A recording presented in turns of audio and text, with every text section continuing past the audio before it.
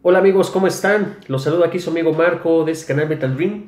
Como siempre saludándolos y esperando que se encuentren muy bien. Les agradezco mucho que estén viendo este video, los demás que están en el canal. Si es la primera vez que ves uno de estos videos, pues te invito a que te suscribas, des like, comentes, compartas, activa esa campana de notificaciones para que sepas que ya hay un nuevo video. Y pues bueno, el día de hoy les quiero hablar del último álbum publicado apenas el día de ayer de la banda francesa de, pues está catalogada como group, eh, eh, death y progressive metal. Esta banda es pues, Gojira, una banda pues famosa, famosa dentro de la escena, banda francesa como les comentaba, que pues ya llevan 20 años, 20 años dentro de, de, este, de este medio y nos están entregando su séptimo álbum llamado Fortitude. Es un álbum que tiene una duración de 51 minutos y estos se reparten en 11 tracks. La casa disquera o el sello discográfico es Roadrunner Records. Pues bueno, eh, Gojira es una banda que eh, ha ido evolucionando. En sus inicios manejaban un, death metal mm, hasta mm, pegándole al technical, eh, más pesado, con más, con más fuerza. Y en su evolución han ido entrando como que a una comercialización y también la velocidad ha ido bajando, ¿no? ha ido bajando de intensidad. El último álbum, el antecesor de este, el llamado Magma, pues bueno, fue un álbum que en, en, en, muchas, en muchos sectores o muchos fans, seguidores, pues creo que no tuvo una muy buena recepción, porque pues es un álbum que ya muestra esta evolución que les voy comentando. Entonces este álbum, Fortitude, pues ¿qué viene siendo? Para mi gusto es la continuación de un Magma una continuación, pero ya más, más hacia abajo.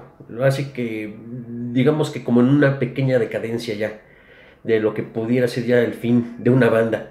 Bueno, yo lo veo así porque mm, este álbum, la verdad, eh, tiene canciones de, entrada, pues son, todas son muy lentas, son muy sosas. Mm, hay una o dos rescatables, pero la verdad es que aquí ya hay muchas canciones donde pues no se ve mucha idea, o sea, es como que invéntate un riff, eh, lo repetimos muchas veces, una tonadita y ahí sí nos vamos con todas las canciones. Entonces se vuelve un álbum bastante aburrido, para mí es un disco muy muy aburrido.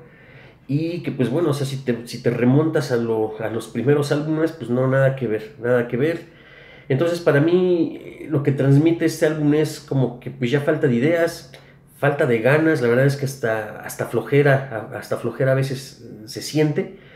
Y, bueno, así que es mi opinión, no, no es, recuerden que no es, no es la verdad absoluta.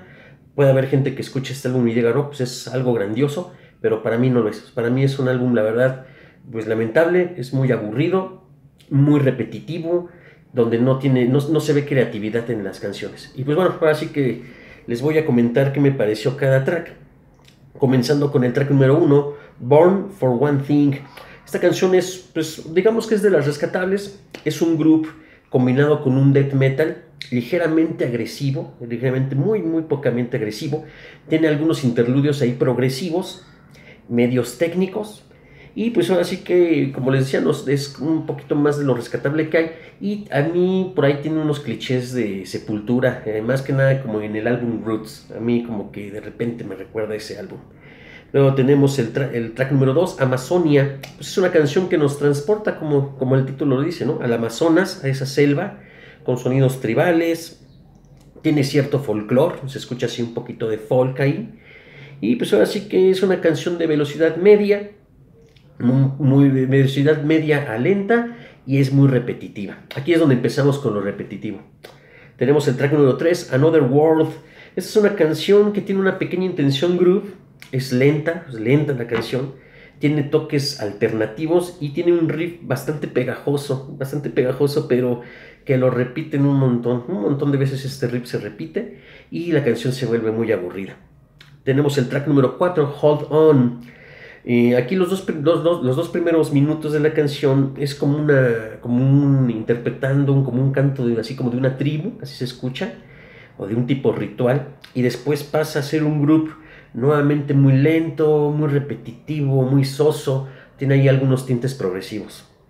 Luego tenemos el track número 5, New Found. Esta canción es muy lenta, es muy repetitiva igual, tiene una esencia groove, porque no es totalmente groove, tiene una esencia groove, y tiene un riff de guitarra que también se repite a más no poder. La verdad es que es repetitivo, repetitivo. El final de la canción, los últimos dos minutos son instrumentales que pareciera que es otra canción. O sea, lleva toda una tónica en todos los primeros minutos y los últimos dos cambia como que de, ritmo, cambia o sea, totalmente. Y pues bueno, ahí se puede decir que tiene una cuestión como medio progresiva, pero la parte instrumental es igual, o sea, no tiene ni un solo, nada, o sea, es repite, se repite, se repite. Tenemos el track número 6, Fortitude. Aquí los dos primeros minutos son instrumentales, igual este regresando como que a una, una onda una onda tribal. De hecho, perdón, la canción es, es, totalmente instrumental y tiene una duración de dos minutos. Y pues es así como que una onda como, digamos como les decía, ¿no? Como una onda tribal, una onda así de tribu, de un ritual. Para pasar a The Chant, que es la canción que, les decía, Fortitude es el intro, y The Chant, ahora sí que es lo mismo, el canto, lo tribal, pero bueno, ya con los instrumentos, ya con la guitarra, la batería y el bajo. Aquí esta canción parece más un rock metal alternativo, la verdad es que esta canción sí eh, es de las peores de este álbum, es yo creo que la peor. Es muy, muy lenta, de hueva, repetitiva, repetitiva, a más no poder. La parte de los coros que les comento, así como tipo tribales, se repiten otra infinidad de veces.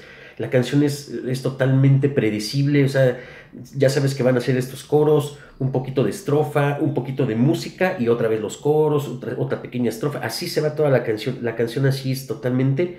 La verdad es que esta sí es de lo peor de este disco. Bueno, a mí esta canción de plano no me gustó nada. Y más que nada por lo que les digo, es repetitiva, lo mismo, lo mismo.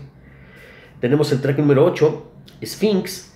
Aquí es un group death, group death metal de una velocidad media a lenta otra vez, pero tiene una actitud un poquito más de, de rudeza, un poquito más potente. Aquí tenemos voces guturales, lo que no había estado en el álbum. Había voz ronca, voz mm, emulando como una, un poco una voz más trashera y voces claras, pero el gutural que Gojira había manejado no aparecía en este álbum. Bueno, aquí en esta canción ya aparece un gutural, por fin aparece un gutural, y pues es una canción ligeramente rescatable. Luego tenemos el track número 9, Into the Storm. Es una canción que tiene un inicio de una batería rápida, pesada, muy técnica, y da paso a un groove más rápido, un poquito más agresivo, y eh, ahora sí que mm, se siente así porque a todo lo que venían haciendo en el álbum, pues ahora sí que esto sí se escucha más. No, no quiere decir que es lo más potente, lo más poderoso, pero a lo que venía en el álbum, pues sí, se siente mucho más, más pesado, tiene una intensidad más, más alta, ¿no? Aquí en la parte de los, la, parte de los coros, la canción baja, baja de, de, intensidad, pero vuelve, bueno, vuelve a retomar ese nivel del principio en interludios. Tiene un pequeño toque progresivo esta canción y también eh, pues, es algo rescatable. Luego tenemos el track número 10, The Trails. Esta canción es un rock alternativo porque ni metal es. Es un rock meramente alternativo. Tiene ahí un toquecito progresivo, medio depresiva la canción, totalmente, pues muy, muy lenta, eh, ideal para, para dormir a un bebé. Y tenemos el track número 11, Grind. Aquí pues acaba el álbum. Y pues es un, un group death progresivo que tiene cambios de ritmo muy pronunciados y aquí vuelve, a haber este, cantos guturales y es una canción pues también rescatable, no es tan mala. Y pues bueno, aquí acaba este álbum llamado Fortitude de Gojira, que fue lanzado apenas el día de ayer. Y pues bueno, como les decía, en mi opinión es un álbum muy lento, muy predecible, bastante aburrido. Y que pues bueno, Gojira, para mi gusto ya ya va a seguir sobre esta línea o si no es que a lo mejor la banda pues igual y ya es como que un principio de un fin o a lo mejor podría haber después una renovación o volver a las raíces, pero lo dudo mucho, eh, lo dudo. Entonces, bueno, ahora sí que del 0 al 10 este álbum pues yo lo yo le doy un 5, la verdad es que es un álbum para ya no, no escucharlo y pues bueno, esperemos a ver qué, qué más nos entregan en próximos años esta banda, que pues bueno, hay muchos seguidores de ellos y espero que los fans, los verdaderos fans de ellos, pues no, no se molesten con lo que yo digo. Recuerden, es simplemente mi opinión y pues habrá quien sí le gusta, a mí no me gustó y pues bueno, así que ahí queda. Pues bueno amigos, muchas gracias. y espero que les haya gustado el video. Les agradezco mucho. Ya saben, den like, compartan, comenten, hagan lo que gusten. Y pues bueno, muchas gracias. Larga vida al metal. Nos estamos viendo en un próximo video. Saludos amigos. Bye.